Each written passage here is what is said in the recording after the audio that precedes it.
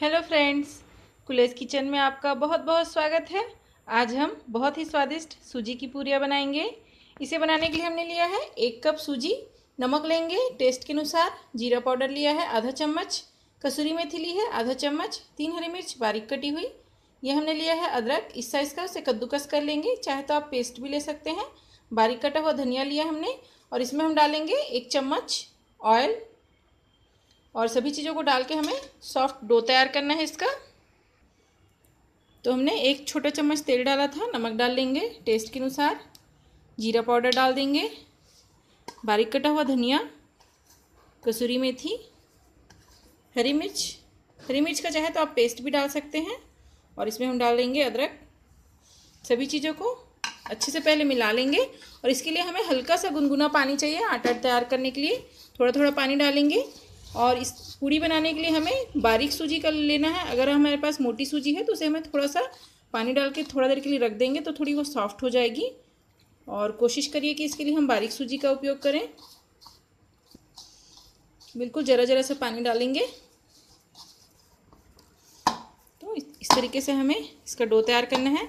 बहुत ज़्यादा हमें इसे सख्त डो तैयार नहीं करना है, सॉफ्ट ही रहना चाहिए। अब इसे हम पंद्रह मिनट के लिए ढक देंगे तो पंद्रह मिनट में सूजी हमारी फूल के तैयार हो जाएगी।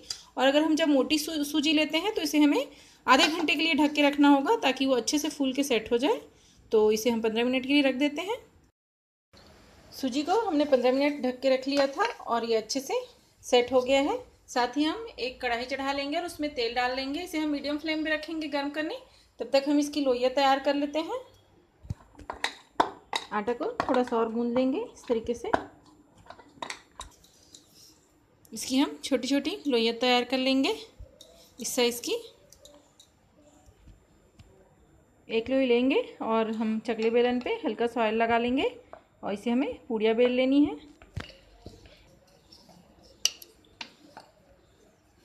पूड़िया हमने तैयार कर ली है, तेल भी गर्म हो चुका है, अब फ्लेम हम लो कर लेंगे और इसे पूड़िया तल लेंगे।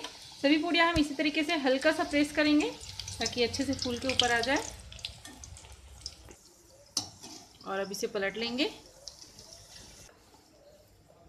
इसी तरीके से सारी पूड़ियाँ हम बेल के रेडी कर लेंगे और एक एक करके इसे हम तल लेंगे। पूड़ी रेडी हो चुकी है, इसे निकाल लेंगे। हल्का सा इस तरीके से होल्ड कर लेंगे और बहुत ही स्वादिष्ट सूजी की पूरी बन के तैयार है। हल्का सा इस तरीके से दबाएँगे तो फूल के ऊपर आ जाती है पूड़ियाँ हमारी।